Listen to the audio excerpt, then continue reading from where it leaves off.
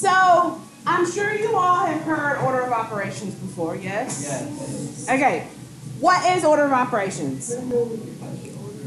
Somebody said PEMDAS. Yes. I write it a little different than a lot of people. Um, what does it, tell me what it does, first of all. We know It this. doesn't call themselves. It gives you direction on the steps to do it. Um, what's the? Huh? It's like where you start in a. The order that you simplify in, right? Okay. Location. Tell me what does it mean? What what? Okay, so that's what we use to help us remember it. But what does it mean? What does each? That's that's fine. Addition and subtraction. Good job. All right, so I'm I'm going to elaborate on some of these a little bit more maybe than what you're used. to. Oh, okay. Parentheses.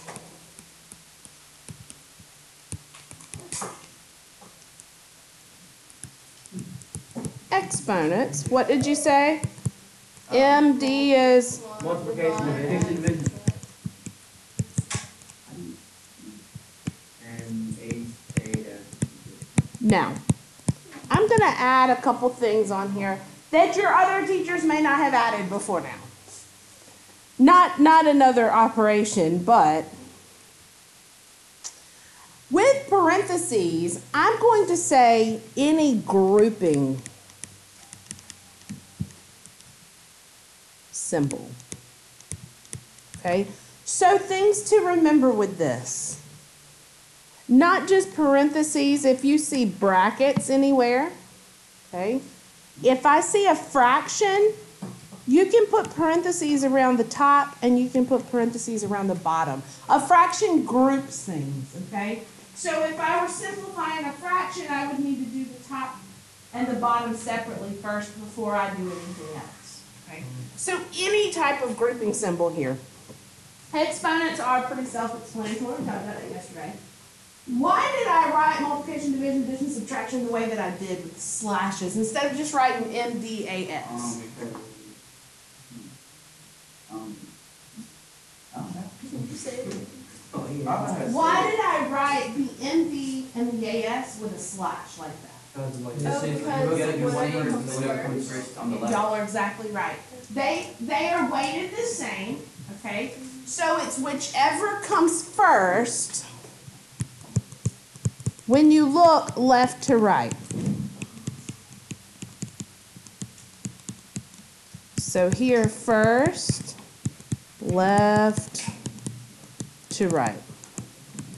Okay? So if I happen to have something that was um, 8 divided by 4 times 2, I don't jump straight to the multiplication because multiplication and division are equal. Okay, so I do whichever comes first, left to right. So I'd have to do 8 divided by 4 first and get 4 and then multiply it by 2. They never taught What? They never taught us. They never taught you I that? was Wait, told wait, that in eight like divided fifth grade. two. And then- then Like whatever, a com- not four. whatever comes first. Ah, thank you. I'm sorry. I'm getting so caught up in, in making sure you know the order that I'm going to do the math wrong. 8 divided by 4 is 2, times 2 is 4. I'm sorry. Um, but make sure because this, um, every place students mess up with order of operations, it always happens here. Okay? Multiplication, division are equal, addition, subtraction are equal. It's left to right. Same way you read, left to right. You read a sentence left to right, you read a mathematical expression left to right as well. Okay? Let's do some examples and see. Yes, I'll wait for you. I'll wait. I'm gonna give you. We'll we'll walk through the first one together, and then we'll kind of move on together. Um, twenty-seven divided by three squared And I know that your book uses an X for multiplication. Do not do that. Okay? Why? Because I we're- think it's like a, um. She's- A variable. A variable. Letter. That's right, a letter. We started talking yesterday about variables and using them and simplifying and, and evaluating. And we really don't want, at this point, we do not want to use an X for multiplication. You can use a dot, it's fine, um, but never, never, never an X. Okay, so let's look at this. Please excuse my dear Aunt Sally. So I'm gonna go left to right. How about parentheses? Do you see any parentheses or any type of grouping symbols in this expression? By the way, tell me why this is an expression and not an equation. There's no equal sign, you're exactly right. Equations have equal signs, expressions do not, okay? It's not an algebraic expression this time because what's lacking? variable. Variable. But it is a numeric expression. All right, parentheses. Grouping symbols, nope, don't have any, so I'm good. Exponents. Three to the second power, you're exactly right. I do have an exponent, so I want to evaluate that first. What is three to the second power? Nine. Now, I know that you have a calculator, that you can put this in the calculator. I want you to remember, my examples model the amount of work that I want you to show on your homework, okay? So I want to see these steps as you go. This is building that foundation I need to make sure that you have before we move forward. All right. Any other exponents? And again, if there were more exponents, you still move left to right as you see them. Okay, that's a general rule of thumb. All right, exponents done. How about multiplication division? Uh, yes. Yes. Very. Do the division first because left to right, it comes first. Right? Yeah. So what is 27 divided by 9? 3. Am I done now with the multiplication division? No, because I still have more. Remember, I'm moving left to right, so I'm going to keep moving through. What do I have? Three times two. 3 times 2, which is? Six. So now I'm done with the multiplication division. Addition, subtraction? Yes, I have subtraction. 6 minus 3 is? And now I'm done. Am I going too fast? Is this okay? All right. Let's try this one.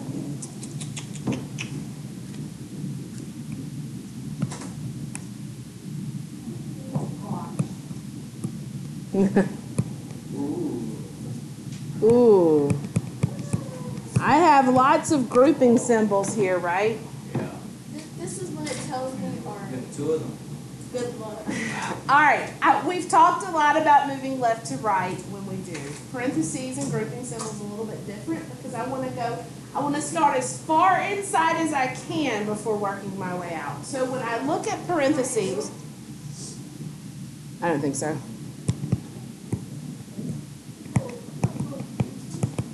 I'll check.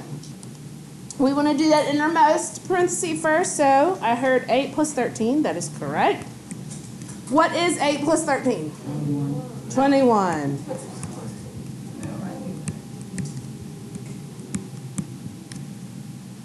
Oh, It suddenly doesn't look so bad anymore, does it? Because now I just have the one set. So 30 minus 21 is? Um, negative nine. It's 9. Yeah, 9. So here's my question. There's no operation there. That's what I was going to ask you. There's no operation. Here, there's a parenthesis. What does that mean? You multiply. Yes. Okay. Anytime you have a parenthesis without an operation in front like that with something there, that's a multiply. So 2 times 9 is Um, eighteen. Yes or no? Yes. Yes or no? Let's take what we did yesterday then and combine it with this and see if you still got it. Yeah. What? let's say I had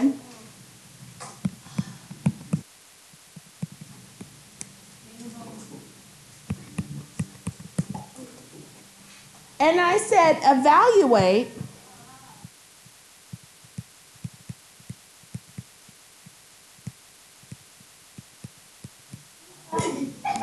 when y equals 8. So now you got to take what we did yesterday where we were plugging in, and now you have to use your order of operations to simplify. Okay? So much fun, right?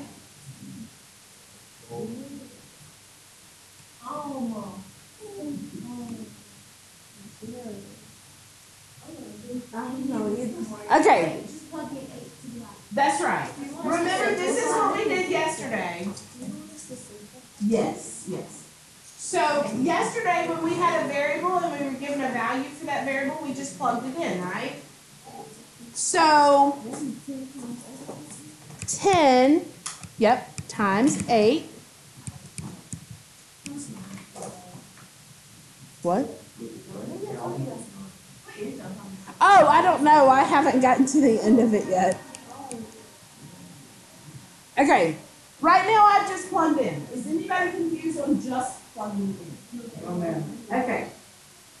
Now, remember I told you fractions are a type of grouping symbol? Okay?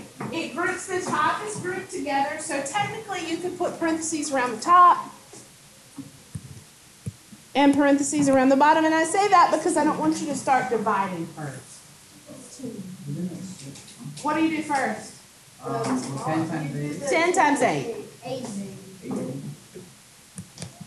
So I've got 80 plus 1 over 8 plus 1. What can I do now? Add them. Add them. I'm getting out of room here, so I'm going to come to the side. 81 divided by, and now I can divide and get.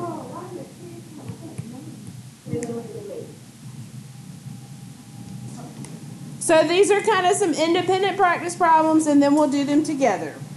Let's do. Here, I just want you to evaluate. What? Here are the four practice problems that I want you to try in your group, and then we'll come back and do them together, okay? So I give you a few minutes to work on them. It's been. All right, look at the first one. Remember, maybe I should write them dice over here for you. What am I gonna do first? The parentheses. So, what's in parentheses? Three plus nine. Three plus nine, which is twelve. Forty-eight. What? What? She's giving the final answer. That's the parentheses. That's okay. That's okay. All right. So there's no operation indicated, guys, but there is a there is a parenthesis with a number outside, so that means I multiply. So you did give us the correct answer. There it is, 48. Four times twelve is 48. Number two, parentheses, but I have parentheses and brackets here. What should I do first? The inner. The innermost parentheses. So I've got two times what's nine plus three? Whoa. What do I do now? Divided by four. Which is? Y'all got this. Yes. How about number three and four a little bit different? We're plugging in and then we're using order of operations. So I plug in the eight for y. Um, Eight squared minus three. What do I do first? The exponent. So I get 64. Minus three equals fifty-one. Y'all are on fire. Number four. Which do I do first? The first one one equals uh, four.